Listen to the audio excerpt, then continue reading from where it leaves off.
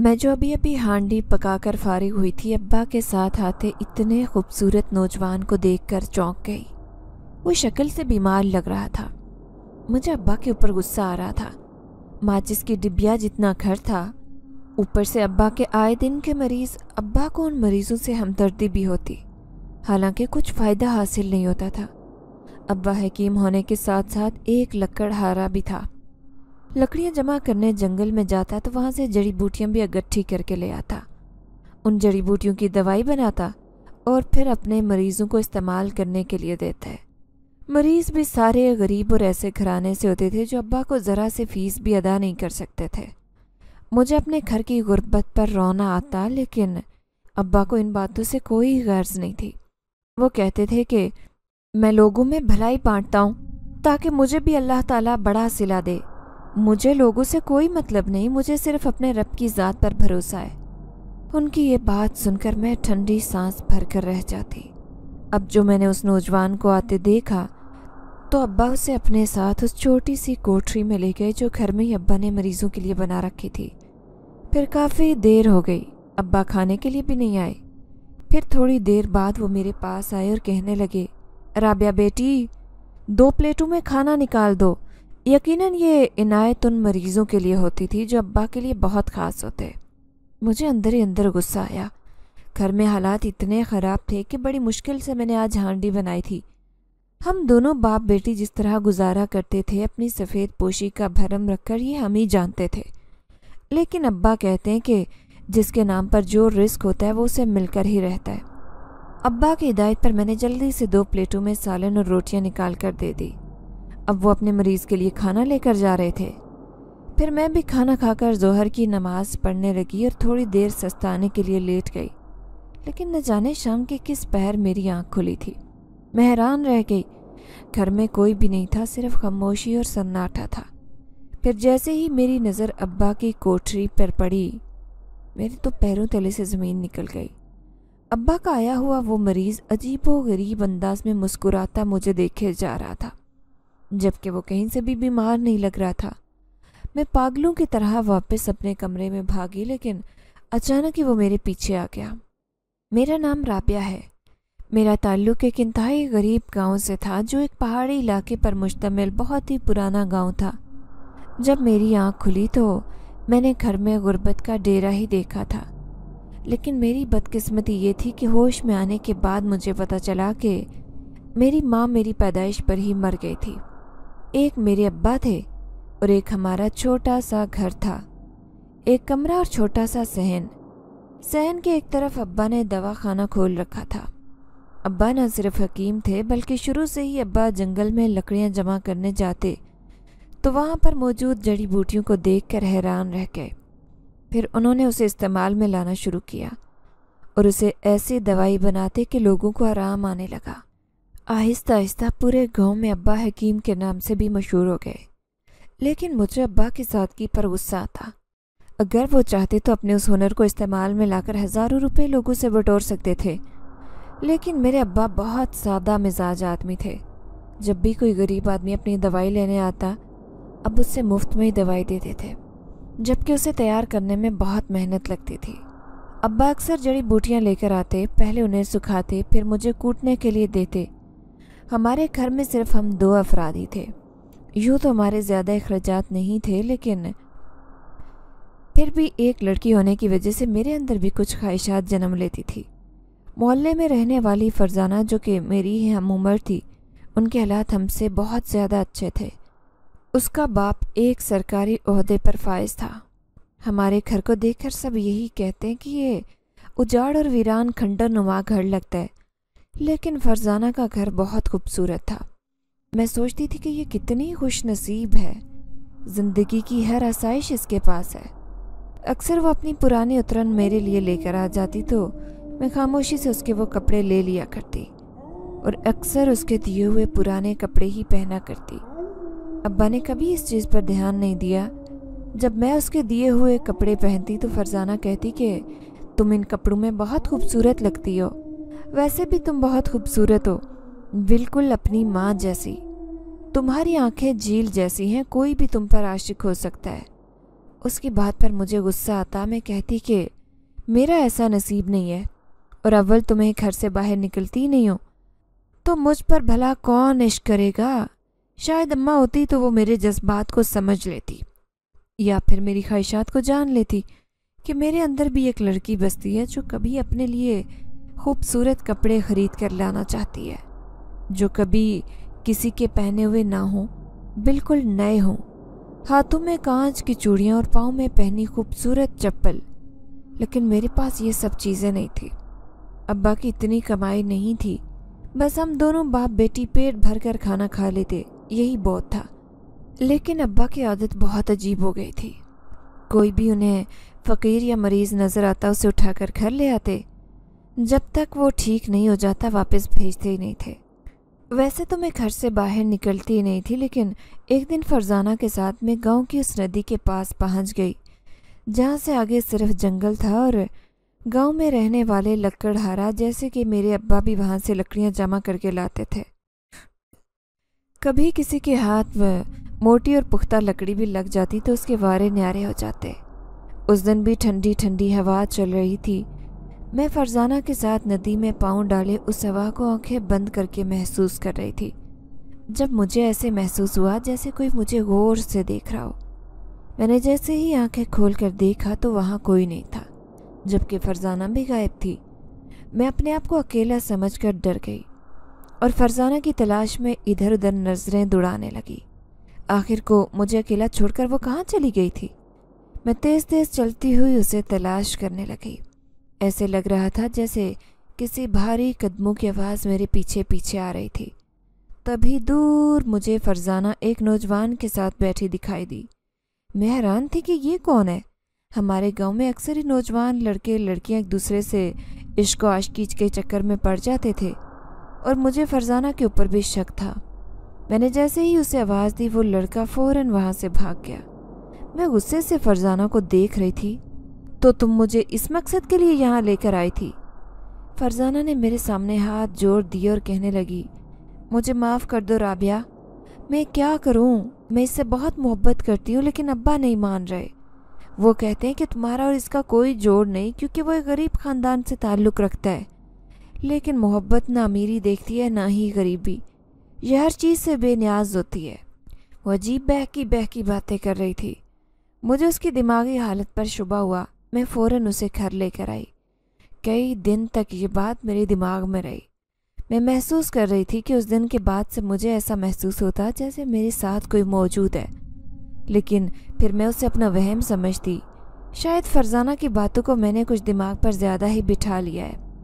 अभी भी उस नौजवान को देखकर मुझे खूब गुस्सा आया था, जो मुझे एक ढोंगी लग रहा था। लेकिन अब्बा कहने लगे, बेचारा बड़ा ही बीमार है और गरीब भी। सड़क पर खड़ा होकर मांग रहा था, लेकिन मैंने इसकी हालत देख ली, इसे कोई सख्त किस्म का मर्ज लाक हो गया मुझे अब्बा की बात पर ताज्जुब हुआ। मुझे तो वो कहीं से भी बीमार नहीं लग रहा था। ऊपर से दूसरे दिन मैं उसे देखकर डर गई, जब अब्बा घर पर नहीं थे, लेकिन जैसे ही मैंने उसे दवा खाने में झाँक कर देखा, वो पहले से ही मुझे देख रहा था। उसकी सफ़ेद आँखों में अजीब सी चमक थी। मैंने दवा खाने का दरवाज़ा बंद कर दिया। लेकिन थोड़ी देर बाद ही मैंने उसे सहन में आते देखा तो मुझे गुस्सा आया। मैं उससे कहने वाली थी कि यहाँ से चला जाए, लेकिन अचानक अब्बा आ गया तो मैं अंदर चली गई। लेकिन मुझे उसकी हरकतें अजीब लगी थी। ये कहीं से भी बीमार नहीं लगता था। फिर दो दिन गुजर गए तो ये घर में ही टिका रहा। मैं उस दिन अब्बा से कहने लगी कि ये यहाँ से कब जाएगा? अब्बा कहने लगे बेटी, ये ठीक हो जाएगा तो फ़ौरन चला जाएगा। तू परेशान मत हो। मैं अपना माथा पीट कर रह गई। मैं अब्बा से कहने लगी कि ये कैसा मरीज़ है जो ठीक होने का नाम नहीं ले रहा। मुझे लगता है कि ये कुछ ढूंढ रहा है। अब्बा हैरान होकर कहने लगे, अरे, ये फ़कीर है। अब फिर से गाँव के किसी चौराहे पर बैठकर भीख मांगने लगेगा। जब तक मैं इसका इलाज नहीं कर देता, इसे जाने नहीं दूँगा, तुम नहीं जानती। ये जो फ़कीर दरवेश होते हैं ना, ये अपने ज़ख्मों की ज़्यादा परवाह नहीं करते। मैं चाहता हूँ कि इसका ज़ख्म बिल्कुल ठीक हो जाए। मैं फिर इसे यहाँ से भेज दूँगा। अब्बा कभी कभार जंगल का रुख कर लेते, जब उन्हें लकड़ियाँ जमा करनी होती तो वो कुछ जड़ी बूटियाँ भी तलाश करके ले आते, जो मुझे ही सुखानी पड़ती और फिर उन्हें दवाइयों के लिए कूटना पड़ता ताकि वो यकजान हो सके। अब्बा बाहर सहन में सोते थे, जबकि मैं अपने कमरे में उस रात में सो रही थी तो मुझे ऐसे महसूस हुआ जैसे मेरी चारपाई के पास खड़ा कोई मुझे गौर से देख रहा है। मैंने पलक चपकते ही आँखें खोली, मेरे मुँह से चीख निकली, क्योंकि मैंने उस नौजवान को बिल्कुल अपनी चारपाई के पास खड़ा देखा था। मैं फ़ौरन ही उठकर बैठी, अब्बा भी दौड़ते हुए मेरे पास आए। राबिया, बेटी, क्यों डर गई हो? मैं खौफ से कांपते हुए कहने लगी, अब्बा, वो नौजवान अभी अभी मेरे कमरे में था, वो क्या करना चाहता था मेरे साथ? मैं गुस्से से चिल्ला रही थी, अब्बा हैरान होकर कहने लगा। लेकिन बेटी, वो तो शाम को ही वापस चला गया था। यकीन नहीं आता तो जाकर देखो दवा खाने में कोई भी नहीं है। वो अपना ज़ख्म ठीक किए बिना ही यहाँ से चला गया। कह रहा था कि आपकी बेटी को मेरा आना पसंद नहीं है, इसीलिए मैं जा रहा हूँ। अब्बा मुझे समझा रहे थे, जबकि मैं खाली खाली नज़रों से अब्बा को देख रही थी। फिर जैसे ही मैंने दवा खाने में जाकर देखा, अब्बा की बात सच साबित हुई थी। वहाँ कोई भी नहीं था, लेकिन मैंने अपनी आँखों से उस नौजवान को यहाँ खड़े देखा था। मेरा पूरा वजूद काँप रहा था। उस पूरी रात मैं सो न सकी। करवट पर करवट बदलती रही। सुबह हुई तो मैंने फिर से दवा खाने की सफ़ाई की और पूरे घर की सफ़ाई करने लगी। अब्बा न जाने कहाँ चले गए थे। थोड़ी देर बाद फरजाना चली आई। वो हमेशा मेरे लिए कुछ न कुछ लेकर आती थी।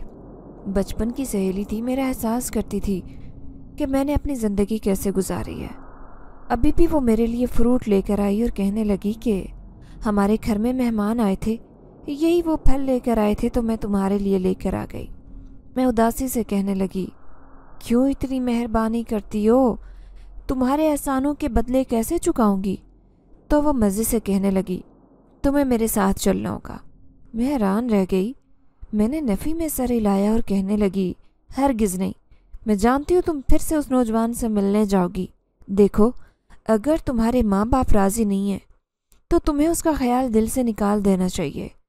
वो उदासी से कहने लगी, हरगिज़ नहीं। मैं उसके साथ भागकर शहर चली जाऊँगी, लेकिन कभी उसका साथ नहीं छोड़ूँगी। मेरी मोहब्बत बहुत जुनूनी है। उसकी आँखों में दीवानगी थी। मैं उसकी दीवानगी देखकर हैरान रह गई। फिर ना चाहते हुए भी मुझे उसके साथ वहाँ जाना पड़ा। जहाँ पर उस लड़के ने उसे मुलाकात के लिए बुलाया था, लेकिन उस पथरीली सड़क से गुजरते हुए अचानक मेरी नज़र दरख्त के नीचे बैठे उस नौजवान पर पड़ी, जो दरवेश बनकर बैठा था। उसके वजूद से अजीब सी खुशबू आ रही थी। ये वही था जो अब्बा के साथ घर आया था। फरजाना उस नौजवान को देखकर कहने लगी, अरे, देखो तो सही कितना खूबसूरत है, लेकिन बिल्कुल मलंग लगता है। सच में किस्मत का कोई भरोसा नहीं। मैं डर डर कर उसे देख रही थी, लेकिन जैसे ही मैं उसके करीब से गुजरी, अचानक उसने घुटनों से चेहरा उठाकर मुझे देखा। मैं उसे देखते ही घबरा गई। उसकी आँखों की चमक बिल्कुल वैसी ही थी, जैसे उसने मुझे पहली बार देखा था। मैंने फरजाना का हाथ पकड़ा और फिर फरजाना ने मुझे नदी के पास बिठाया। खुद उस लड़के से मिलने चली गई।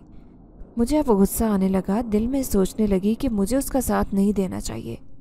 ऐसा न हो कि ये लड़का कुछ ऐसी हरकत कर दे जिससे ना सिर्फ़ फरजाना की बदनामी हो, बल्कि उसके साथ मैं भी बदनाम हो जाऊँ। ज़ाहिर मैं उसकी सहेली थी और उसके साथ गलत काम में शरीक भी थी, जो अपने माँ बाप से छुप इस लड़के से मिलने आ रही थी। मैं जो नदी के पानी को देखने जा रही थी, अजीब सी सोचों में गिरफ़्तार थी। मुझे गिरदोपेश का कोई होश नहीं था। चुपके से कोई मेरे करीब आकर बैठा तो खुशबू का झोंका मेरी नाक से टकराया। मैं उसे देखकर डर गई, ये वही दरवेश था जो मेरे पीछे पीछे यहाँ तक पहुँच गया था। आखिर ये मेरा पीछा क्यों कर रहा है? उसने लंबा सा चोला पहन रखा था, जबकि एक हाथ में एक थैला था, जो गालिबन फकीरों के पास होता है। मैंने देखा, उसके हाथ में एक सफ़ेद रंग की पट्टी बंधी थी, शायद ये वही जख्म था जिसे अब्बा ठीक करना चाहते थे। मैंने देखा वो ज़ख्म बहुत ही गहरा और नाकाबले बर्दाश्त था। मुझे अफसोस होने लगा अपने रवैये पर। मेरी वजह से ही वो इस घर से भागकर यहाँ आ गया था। अब गाँव के चौराहे पर भीख मांग रहा था।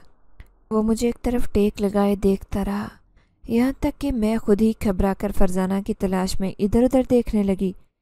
तभी सामने से वो आती दिखाई दी। अब मैं तेज़ कदमों से चलती हुई उसके साथ घर जा रही थी, क्योंकि जानती थी कि अब्बा के आने का वक्त हो गया है। फिर रास्ते में मैं उससे कहने लगी, देखा तुमने उस दरवेश को? कैसे वो मेरे बराबर आकर खड़ा हो गया? परेशान हो गई हूँ मैं उससे। फरजाना हैरत से कहने लगी, कौन सा दरवेश, किसकी बात कर रही हो? मैं कहने लगी, वही जो दरख्त के नीचे बैठा उस नदी के पास पहुँच गया था और मुसलसल मुझे देखे जा रहा था। ये सुनकर फरजाना कहने लगी, मुझे तो कोई नज़र नहीं आया। तुम न जाने किसकी बात कर रही हो? उसकी बात पर मैं उलझ गई, लेकिन मैं उससे कहने लगी, आज तो मैं तुम्हारे साथ आ गई हूँ, लेकिन दोबारा अगर तुम उस लड़के से मिलने आई तो तुम्हारे साथ नहीं आऊँगी। मैंने उसके साथ आने से साफ़ इनकार कर दिया। तो वो उदासी से कहने लगी, अब इसकी नौबत नहीं आएगी, मैंने एक फ़ैसला कर लिया है। मैं उसकी बात सुनकर घबरा गई, कैसा फैसला? उसने मेरी आँखों में देखा और बहादुरी से कहने लगी जब मैं उस फैसले पर अमल करूँगी तो तुम्हें भी पता चल जाएगा। मुझे उसके इरादे खतरनाक लग रहे थे। फिर मैं जल्दी से घर आ गई। अब्बा थोड़ी देर बाद आ गए थे। मैं जल्दी जल्दी हांडी रोटी बनाने लगी। अब्बा खाना खाते हुए कहने लगे, राबिया बेटी, अब मैं चाहता हूँ कि तेरी शादी कर दूँ। मुझ पर तेरी बहुत बड़ी ज़िम्मेदारी है। अब्बा की बात सुनकर मैं हैरान रह गई। मैं कहने लगी, अब्बा, ये आप कैसी बातें कर रहे हैं? मैं आपको छोड़कर कहीं नहीं जाऊँगी। अगर मेरी शादी हो गई तो आप बिल्कुल अकेले रह जाएँगे। ये सुनकर अब्बा कहने लगे, अरे, मैं अकेले कैसे होऊँगा? गाँव के सब लोग आते हैं मेरे पास इलाज करवाने के लिए। मैं मुँह बनाकर कहने लगी, और आप सबका इलाज फ्री करते हैं, ये अच्छी बात नहीं है। तो वो कहने लगे, ऐसी बातें ना किया करो बेटी। देखो किसी को बुरा लग जाएगा, तुम्हारी बातों से ही वो दरवेश बेचारा कैसे रातों रात घर से चला गया। मैं अब्बा की बात सुनकर फिर से एहसास शर्मिंदगी में गिरफ़्तार हो गई, क्योंकि मुझे मालूम था कि उसका जख्म काफ़ी ख़राब था। अब उसका इलाज करवाने के बाद ही उसे इस घर से भेज दे। फिर अब्बा से मैं राजदारी से कहने लगी, लेकिन अब्बा, वो तो उस गाँव में अक्सर उस नदी की तरफ़, जो वहाँ दरख्त है, वहाँ बैठा हुआ मुझे दिखाई देता है। अब्बा ये सुनकर चौंक गए और कहने लगे, तूने कैसे देखा? क्या तू घर से बाहर निकलती है? वो मुझे गुस्से से घूर रहे थे। उन्हें मेरा घर से बाहर निकलना बिल्कुल भी पसंद नहीं था। अब मैं उनकी बात सुनकर घबरा गई। मैं जल्दी से कहने लगी हाँ वो फरजाना मुझे अपने साथ लेकर गई थी। उसे वहाँ नदी के पास से कुछ बेरी के पत्ते तोड़ने थे। मैंने अजीबोगरीब बहाना बना दिया। फिर अब्बा खुद सोचते हुए कहने लगे, अगर वो फ़कीर वहाँ पर है तो मैं उसे ज़रूर ढूंढूँगा।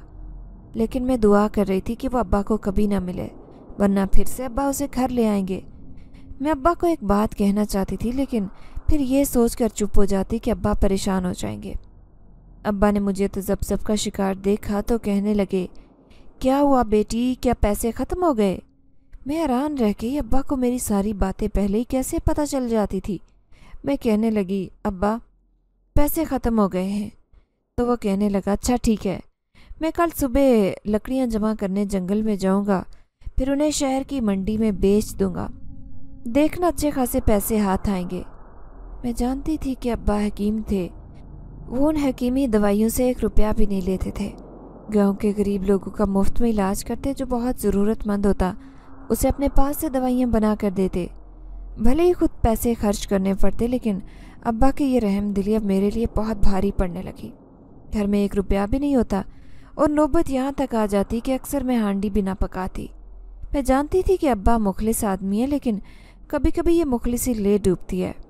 फिर दूसरे दिन अब्बा सुबह सवेरे जंगल चले गए, लेकिन दोपहर से शाम हो गई, वापस नहीं लौटे। एक अब्बा इस पूरी दुनिया में मेरा सहारा थे, मुझे शदीद परेशानी होने लगी। दिल तो चाहता था कि फरजाना को लेकर जंगल की खाक छानूं, देखूँ तो सही कि अब्बा कहाँ चले गए। लेकिन उसके घर जाते ही मुझे बहुत डर लगता। क्योंकि उसके अब्बा एक रईस आदमी थे जो गुस्से के बहुत तेज थे। ऊपर से उसके बड़े भाई जो बहुत ही खूनखार किस्म के थे। इसके बावजूद फरजाना की हरकतें ऐसी थी कि वो जल्दी उसे बर्बाद करने वाली थी। फिर मैंने चादर ओढ़ी और अकेले जंगल की तरफ़ जाने लगी। मुझे अब्बा की बहुत फ़िक्र थी। मैं नदी के दूसरी तरफ़ उस जंगल में गई, लेकिन अब्बा का नामो निशान नहीं था। मेरी आँखों से आँसू आने लगे, परेशानी से मेरा बुरा हाल था। जब किसी फ़कीर ने मुझे पीछे से पुकारा तो मैं जैसे ही पलटी हैरान रह गई। वो फ़कीर दरवेश मेरे पीछे ही खड़ा था। मैंने देखा उसके हाथ का जख्म अभी ठीक नहीं था। वो कहने लगा, तुम्हारा बाप बिल्कुल ठीक है, परेशान मत हो। वो मुझे तसल्ली दे रहा था, मैं चीखने लगी। कहाँ है मेरा अब्बा? ज़रूर तुम्हें उसके बारे में मालूम है। तुम जानबूझकर अब्बा को मारना चाहते हो। मैं उस पर इल्ज़ाम लगाने लगी तो वो चुपचाप आगे की तरफ़ चल दिया। मैं उसके पीछे पीछे जा रही थी। मैंने देखा, अब्बा एक लकड़ी के तख्त पर लेटे थे, लेकिन उनके पाँव में जख्म था। मैं उनसे लिपट कर रोने लगी। अब्बा, आपको क्या हो गया है? तो मुझे तसलियाँ देते हुए कहने लगे, अरे बेटा, कुछ नहीं हुआ। बस गलती से दरख्त पर चढ़कर लकड़ियाँ काट रहा था तो वो शाख टूट गई, नीचे गिरा तो बेहोश हो गया, लेकिन उस नौजवान ने मुझे बचा लिया। देखो, तुम कहती थी ना कि किसी के साथ नेकी नहीं करनी चाहिए। लेकिन आज मेरी नेकी मेरे काम आ गई। इसने मेरी जान बचा ली। अब्बा उससे बहुत खुश थे। मैं भी शर्मिंदा होने लगी कि मैंने खामखा उस पर इल्ज़ाम लगा दिया। मैं उससे माफ़ी मांगना चाहती थी, लेकिन फिर मैंने माफ़ी मांगने का इरादा तर्क किया। अब्बा को साथ लेकर बड़ी मुश्किल से घर आई, लेकिन परेशानी तो ये थी कि घर में खाने के लिए कुछ नहीं था, जबकि अब्बा गिरने की वजह से बहुत कमज़ोरी महसूस कर रहे थे। मैं उन्हें सूप बना कर देना चाहती थी, लेकिन गोश्त लाना मेरे बस में नहीं था। दिल चाह रहा था फरजाना की घर जाकर उसकी माँ से चंद पैसे उधार मांग लाती हूँ, लेकिन हिम्मत नहीं थी। अब्बा, कभी मुझे किसी के सामने हाथ नहीं फैलाने देते थे। हमेशा वो खुद ही घर चलाते थे। भले जहाँ से भी वो पैसे लेकर आते, अब रात के दस बज रहे थे। अब्बा ने खाना भी नहीं मांगा। शायद उन्हें भी मालूम था कि घर में पैसे नहीं हैं। अब्बा कुछ गहरी सोच में थे।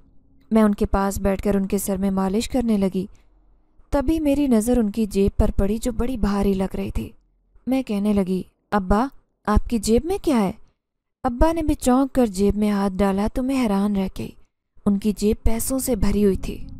इतने सारे पैसे अब्बा के पास कहाँ से आए? खुद अब्बा की आँखें भी फटी की फटी रह गई। मैं बार बार पूछ रही थी कि, अब्बा, ये पैसे आपको किसने दिए हैं? अब्बा सोचने लगे, कहने लगे, मुझे याद नहीं कि ये पैसे किसने दिए हैं। मैं हैरान थी कि क्या ये पैसे खुद ब खुद जेब में आ गए। लेकिन दूसरे दिन का आगाज़ बहुत खूबसूरत हुआ था। उन पैसों से हमारी बहुत सारी परेशानियाँ हल हो गई थी। मैंने अब्बा के लिए गोश्त खरीदा और घर में राशन भी डलवा लिया। दो तीन दिन सूप भी लाया, जिससे अब्बा की तबीयत बेहतर हो गई। मैं सोचने लगी कि अगर पैसा हो तो इंसान क्या नहीं कर सकता। लेकिन मैंने अब्बा को मना कर दिया कि वो जंगल में लकड़ियाँ जमा करने का काम छोड़ दें। फिर वो उदासी से कहने लगे, अभी मुझे तेरी शादी करनी है, घर में खर्चा कैसे चलेगा? ये बात भी सोचने वाली थी। हम दोनों की परेशानी बहुत ज़्यादा थी, लेकिन उससे भी बड़ी परेशानी वाली बात यह हुई कि जब अगले दिन फरजाना के भाई और उसका बाप हमारे घर की दहलीज पर आए, वो मुझे कहने लगे, तू तो बहुत अच्छी तरह से जानती थी ना फरजाना?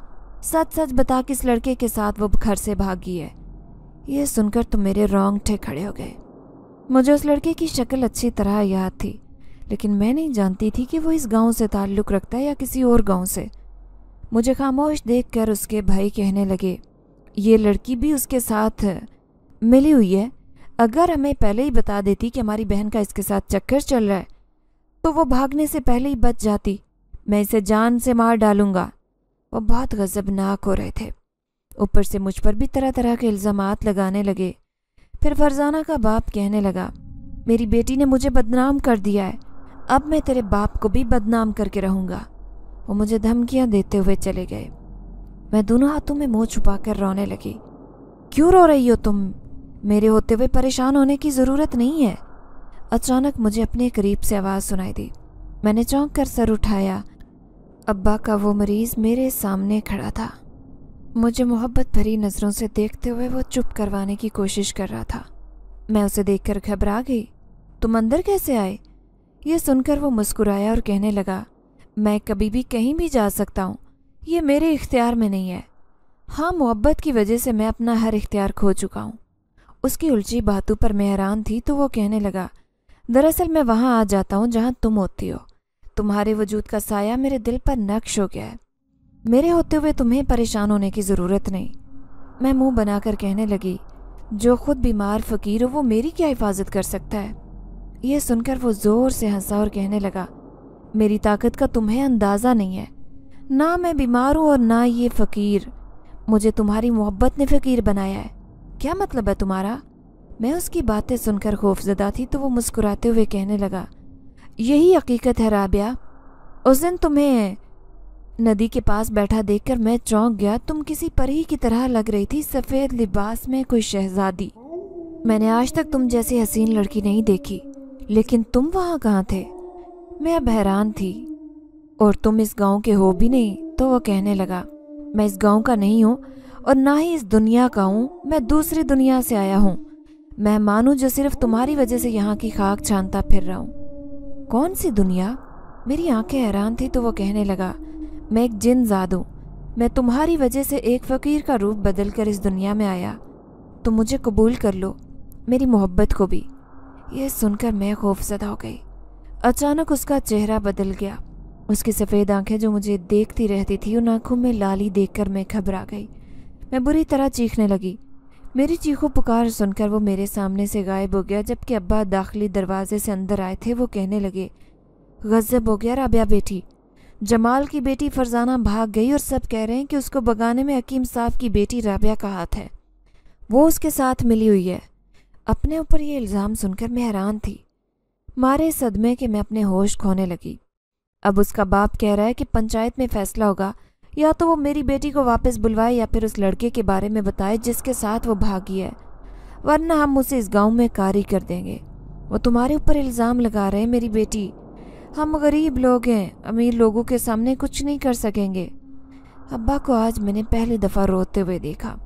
मैं उन्हें कैसे तसल्ली देती? जबकि ये भयानक इल्ज़ाम सुनकर मैं खुद भी हिम्मत हार बैठी। मैं डरते हुए कहने लगी, अब्बा, हम इस गाँव से भाग जाते हैं। हमें यहाँ नहीं रहना, वरना गाँव के लोग हमें जान से मार देंगे। अब्बा ने हैरान होकर मुझे देखा और कहने लगे, बेटी, अगर हम गाँव से भाग जाएँगे तो हम कहाँ जाएँगे? ये हमारा घर है। भले छोटा ही सही, लेकिन गाँव में कैसे रहेंगे?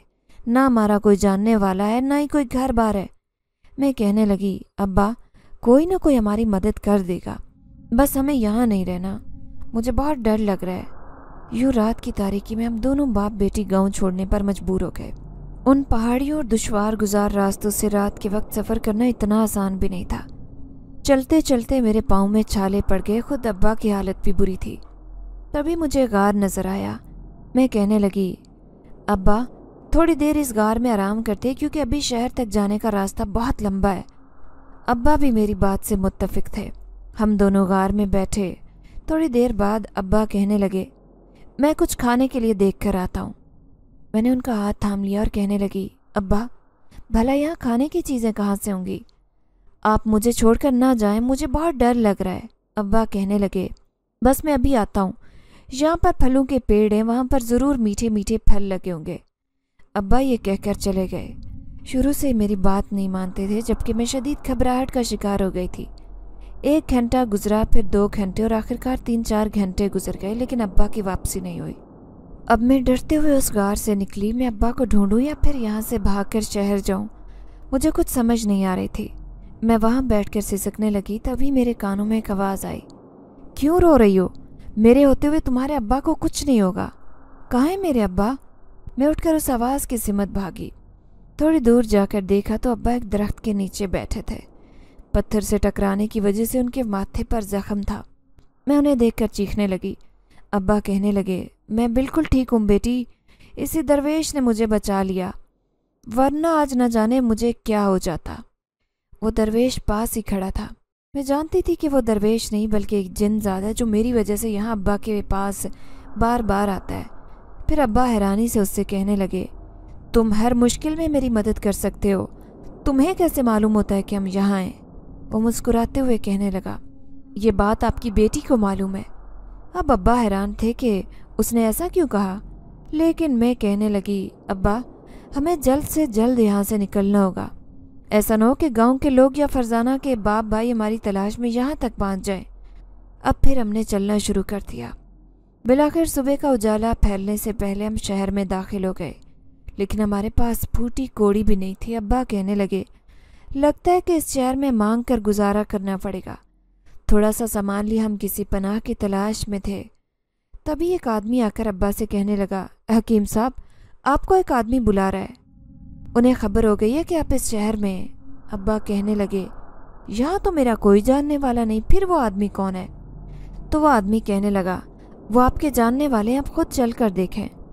अब हम दोनों बाप बेटी उसके पीछे पीछे चल रहे थे, लेकिन वो हमें लेकर एक आलीशान बंगले में चला गया। इस कदर खूबसूरत बंगला जो हमने ख्वाब में भी नहीं देखा था। हम जो झोंपड़ी जैसे घर में रहते थे, यहाँ आकर खुद को शदीद एहसास कमतरी में महसूस कर रहे थे। जैसे ही अंदर गए, सामने ही तख्त पर एक आलीशान नौजवान बैठा था। मैंने उसकी शक्ल नहीं देखी थी, लेकिन जैसे ही वो पलटा, मैं उसे देख कर हैरान रह गई, ये तो अब्बा का वही मरीज़ था। वही एक जिन ज़्यादा वो इस बंगले में क्या कर रहा है? उसे देखकर मैं खौफ से कांपने लगी, न जाने ये हमें यहाँ क्यों लेकर आया है? जबकि पूरे बंगले में सन्नाटा छाया था। दो खिदमत गुजार आदमी उसके दाएँ बाएँ खड़े थे। फिर वो अब्बा से कहने लगा, हकीम साहब, मैं आपका मरीज़। अब्बा भी हैरानी से उसे देख रहे थे। वो कहने लगे, आप तो एक फ़कीर हैं। तो वो कहने लगा, ना मैं फ़कीर था और ना ही मरीज़, बल्कि आपकी मदद करना चाहता था।